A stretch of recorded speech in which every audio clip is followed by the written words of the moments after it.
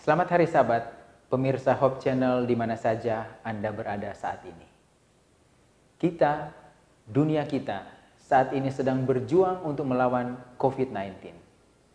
Mazmur 91 jelas menyatakan bahwa kita berada di dalam lindungan Allah. Ayat 4 mengatakan, dengan kepaknya ia akan menundungi engkau. Di bawah sayapnya engkau akan berlindung. Ayat sesudahnya yaitu ayat 5 mengatakan, engkau tak usah takut.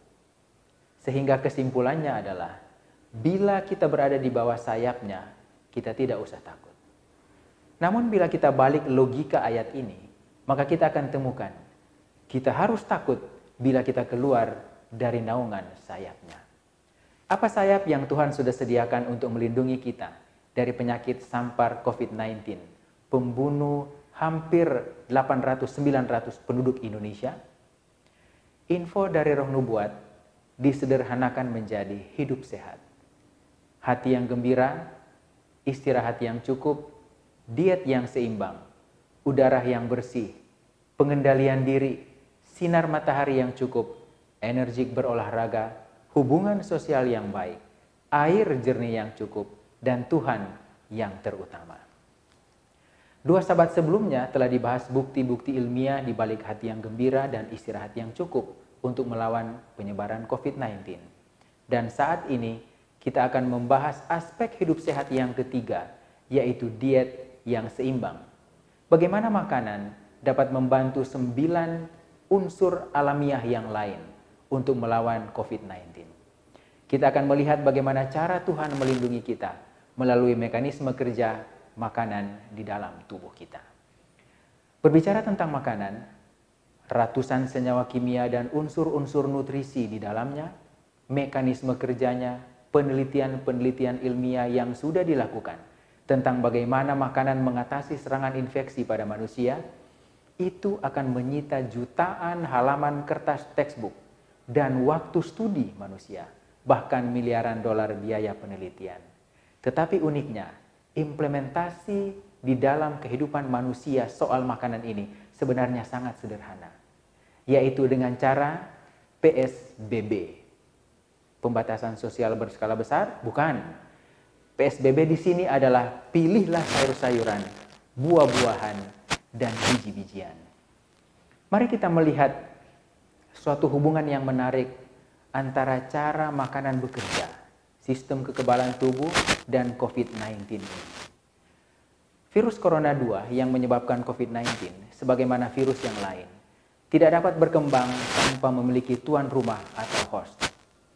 Sudah ditemukan bahwa untuk dapat menggunakan sel manusia sebagai tempat berkembang biak, maka satu-satunya jalan masuk virus corona 2 untuk menembus sel manusia adalah melalui reseptor atau pintu yang dinamakan ACE2. ACE2 atau angiotensin converting enzyme 2. Pintu ACE2 atau yang selanjutnya akan saya sebut sebagai reseptor ACE2 banyak ditemukan pada sel-sel tubuh manusia sehingga sel apa pun yang memiliki reseptor ini akan berpotensi menjadi tempat berkembang biaknya virus corona ini. Hemming dan kawan-kawan melakukan penelitian yang dipublikasi pada tahun 2004. Saat itu virus corona 1 sedang menyebabkan severe acute respiratory syndrome. Mereka berusaha mencari sebaran reseptor X2 pada seluruh organ tubuh manusia dan menemukan bahwa di dalam tubuh manusia reseptor X2 ini terdapat hampir pada seluruh organ manusia, termasuk usus halus, paru, jantung, otak, pembuluh darah dan organ-organ lain. Sehingga organ-organ ini berpotensi menjadi tempat berkembang biaknya virus dan kemudian mengalami kerusakan. Tetapi dari penelitian mereka ditemukan kabar baik, yaitu penelitian mereka menemukan bahwa sel-sel sistem imun manusia tidak memiliki reseptor ACE2 ini, sehingga tidak akan terkena dampak dari virus corona ini. Dan dengan menjaga sel-sel imunitas kita baik, maka ini menjadi satu-satunya harapan secara alamiah untuk mengatasi virus corona 2 dari dalam tubuh sendiri. Tuhan bekerja untuk melindungi tubuh kita melawan virus corona. Dan salah satu jalan adalah melalui sistem imun atau sistem kekebalan tubuh kita sendiri.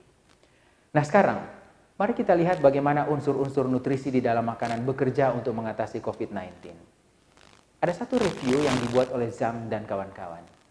Mereka merekomendasikan beberapa jenis vitamin dan mineral untuk mengatasi infeksi virus corona 2 ini, yaitu vitamin A, semua kelompok vitamin B, vitamin C, D, E, omega 3, selenium, zinc, dan zat besi dengan berbagai mekanisme spesifiknya. Kita tidak bisa membahasnya satu persatu, tetapi mari kita lihat contoh mekanisme kerja dari vitamin A dan C untuk melawan infeksi. Karena ada sesuatu yang menarik dihubungkan dengan jalan masuk virus ke sel manusia melalui pintu ACE2 ini.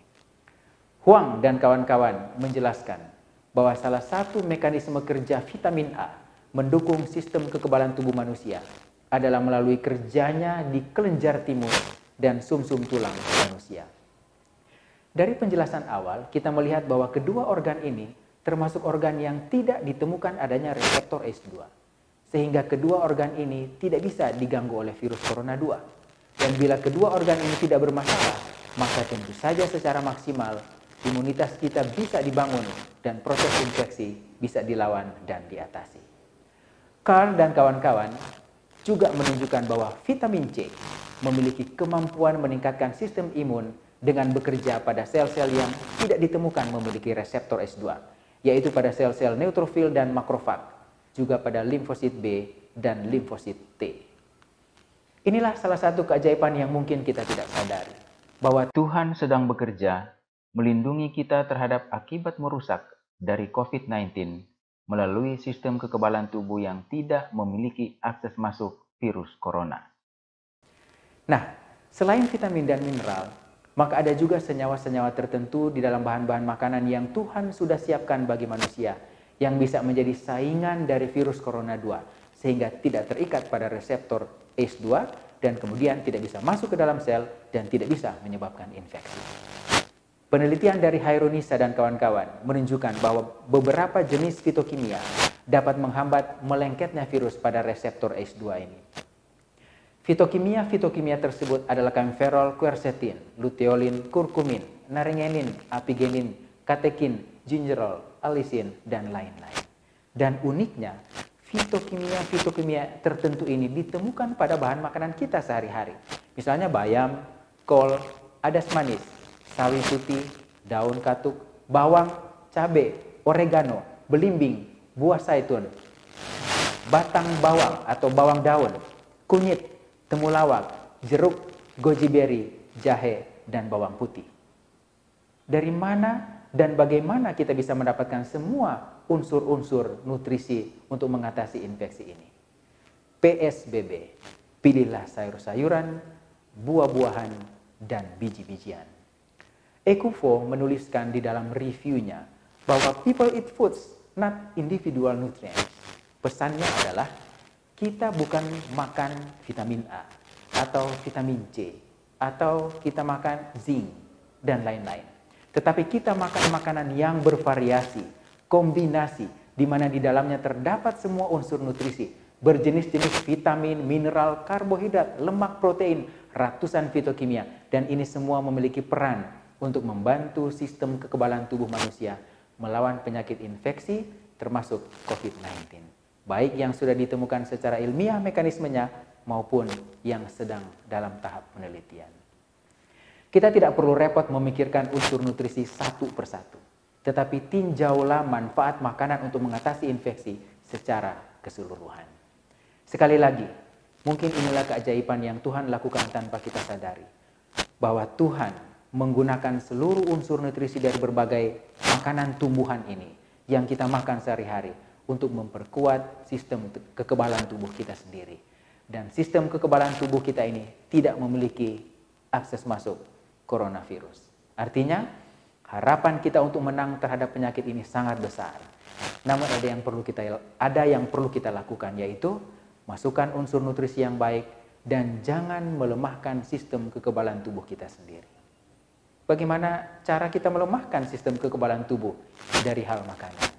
Ingat, bahwa makanan sehat sekalipun bila digunakan dalam jumlah yang terlalu berlebihan akan menyebabkan masalah di dalam tubuh manusia. Akan menyebabkan penimbunan jaringan lemak, meningkatkan faktor peradangan di dalam tubuh, dan akhirnya menurunkan kemampuan imunitas kita. Ini seperti bensin yang kita siramkan di api peradangan yang kecil, yang kemudian akan menyebabkan api itu menjadi sangat besar, menyebabkan perburukan dari COVID-19 melalui mekanisme yang kita sudah ketahui yang disebut dengan badai sitokin. Makanan yang sehat dapat mengakibatkan masalah apabila kita makan terlalu banyak. Gambar ini saya dapatkan dari grup WA yang beredar dan menurut saya gambar ini sangat lucu. Sederhana pesannya, tetapi mari kita cermati maknanya. Makan terlalu banyak, terlalu sering, melebihi kebutuhan tubuh, memiliki arti kita keluar dari kepak sayap perlindungan Tuhan. Agar mudah diingat, selain PSBB, makan terkait dengan jumlah makanan, maka gunakan prinsip masker. Apa itu masker? Makan secukupnya dan bervariasi. Mari kita lihat apa pesan WHO melalui FAO yang dipublikasi pada tanggal 27 Maret 2020 terkait diet selama pandemi COVID-19 ini. FAO mengingatkan bahwa nutrisi sangat penting, baik untuk pencegahan, untuk pengobatan maupun untuk pemulihan COVID-19. Dan menurut FAO, tidak ada suplemen diet tertentu yang terbukti secara signifikan dapat mencegah COVID-19. Itulah sebabnya dianjurkan kita menjaga pola makan kita secara keseluruhan, komprehensif atau holistik. Makan makanan yang bervariasi dari semua kelompok makanan, karbohidrat, lemak, protein, vitamin, mineral, fitokimia, dan air. Makan lebih banyak sayuran dan buah-buahan dibanding kebiasaan kita sebelumnya, konsumsi biji-bijian utuh, batasi lemak, gula, dan garam, karena makanan-makanan ini cenderung menyebabkan kita makan berlebihan, jaga kebersihan, dan minum air jernih secara reguler, terdistribusi merata sepanjang hari. Itu pesan atau rekomendasi dari FAO. Bila kita perhatikan rekomendasi ini, tidak disebutkan satu jenis nutrien bahkan satu jenis makanan, tetapi direkomendasikan secara keseluruhan, bervariasi, bermacam-macam dalam jumlah yang cukup. FAO juga masih di dalam website yang sama, memberikan anjuran cara untuk mengimplementasikan hal ini, yaitu dengan menggunakan metode makan isi piringku. Isi piringku itu maksudnya adalah sepertiga bagian dari piring kita diisi dengan sumber karbohidrat bervariasi. Sepertiga berikutnya diisi dengan sayur-sayuran bervariasi. Dan sepertiga sisanya kita bagi dua. Bagian yang pertama diisi dengan buah-buahan bervariasi dan sisanya diisi dengan sumber protein dan lemak. Dalam hal ini biji-bijian juga bervariasi. Makan tiga kali sehari dan hindari makan di antara jam makan yang cenderung meningkatkan jumlah makanan kita melebihi kebutuhan kita. Bisakah kita melihat keajaiban Tuhan dalam hal ini?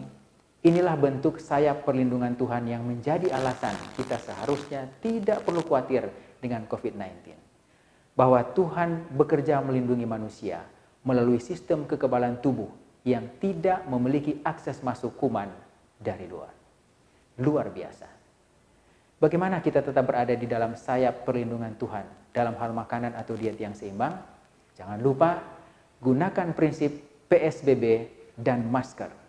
Pilihlah sayur-sayuran, buah-buahan dan biji-bijian, makan secukupnya dan bervariasi. Selamat hari Sabat. Tuhan memberkati.